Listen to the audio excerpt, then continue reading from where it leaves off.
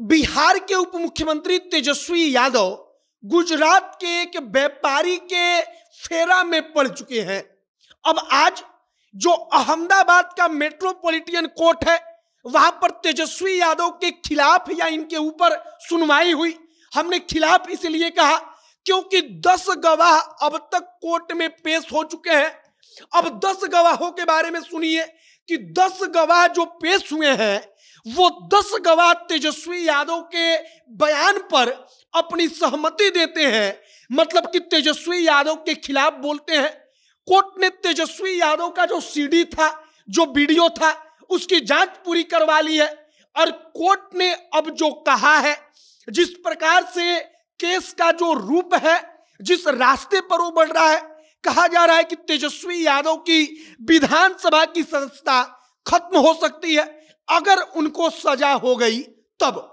आगे आपको हम सब कुछ बताएँगे कि आज कोर्ट के अंदर क्या कुछ हुआ, जज ने क्या कहा, गवाहों ने क्या कहा, जो वीडियो का सीडी है, उसको लेकर क्या कुछ हुआ। लेकिन उससे पहले हमारा परिचय। अब नमस्कार, मेरा नाम है मोहित कुमार सिंह और आप जनता जंक्शन देख रहे हैं। सबसे पहले शुरुआत करते हैं कि तेजस्वी यादव का अहमदाबाद मेट्रोपॉलिटन कोर्ट में हुआ क्या? दरअसल जो मेट्रोपॉलिटन कोर्ट है, वहाँ पर तेजस्वी यादव के उस बयान की सुनवाई हो रही है, जिसमें तेजस्वी ने कहा था कि आज के दौर में गुजराती ही ठग हो सकता है। अब इस मामले को लेकर गुजरात के एक व्यापारी ने अदालत में जाकर कहा कि आखिर कोई आदमी कितना भी बड़ा हो, कितना भी प्रभावी हो, वो पूरे के पूरे राज्य के लोगों को ठग क्यों कह देगा? कैसे कह देगा? अब इस बात को लेकर सुनवाई शुरू हुई। सबसे पहले कोर्ट ने क्या कहा? इस कहानी को एक एक करके समझिए। कोर्ट ने कहा कि आपने वीडियो कहाँ देखा तेजस्वी का?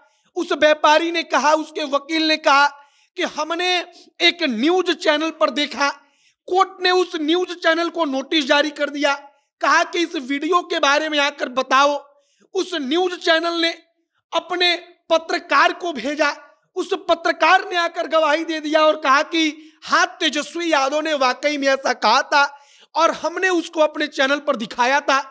अब इसके बाद अलग अलग करके कहा जा रहा है कि अब तक दस गवाह जाकर वहाँ पर अपनी गवाही दे चुके हैं। मतलब कि वो बता चुके हैं कि तेजस्वी ने जो कहा, वो गुजरातियों के बारे में कहा, वो गलत था। जो वकील हैं तेजस्वी के खिलाफ वो बार बार कह रहे हैं कि कोर्ट इस बात पर ध्यान दे कि वो आदमी अगर बड़ा है, वो प्रभावी है तो इसका मतलब यह नहीं हुआ कि उसको छोड़ दिया जाए या उसका सजा कम कर दिया जाए। और यहीं पर मामला फंसता है कि अब तक कोर्ट में जो हुआ है, गवाहों ने आकर तेजस्वी के संबंध में जो कुछ कहा है कोर्ट में, अगर उसका असर हुआ, राहुल गांधी के जैसा मामला हुआ, सजा हो गई तो तत्काल विधानसभा की सदस्यता खत्म हो जाएगी। मतलब कि उप मुख्यमंत्री नहीं रहेंगे, तेजस्वी यादव। उप मुख्यमंत्री के पद से हटना पड़ेगा। और अब छह तारीख को कोर्ट ने कहा है कि हम सुनवाई करेंगे और छह तारीख को कोर्ट इस पर बताएगा, सुनवाई करेगा कि आखिरकार कोर्ट इस मामले को कैसे देखता है और कोर्ट इस पर क्या कुछ फैसला देगा। फ़िलहाल आज दस गवाहों की गवाही के बारे में खबर आती है। उसके बाद खबर आती है कि सीडी की जाँच को पूरा करा लिया गया है। कोर्ट ने उसमें मान लिया है कि तेजस्वी यादव ने ऐसा कहा है और तमाम अलग अलग गवाहों ने आकर अपना बयान दर्ज करा दिया है। अब अगली सुनवाई सबसे महत्वपूर्ण है। कहा जा रहा है कि उस सुनवाई पर कुछ बड़ा हो सकता है। तेजस्वी यादव के लिहाज से कुछ बुरा हो सकता है।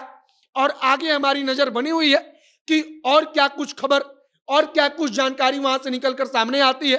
जो भी और जानकारी, जो भी और नया अपडेट निकलकर सामने आएगा, सब कुछ आप तक पहुंचाएँगे। तमाम खबरों के लिए हमारे साथ बने रहिएगा। वीडियो यहीं पर समाप्त करते हैं।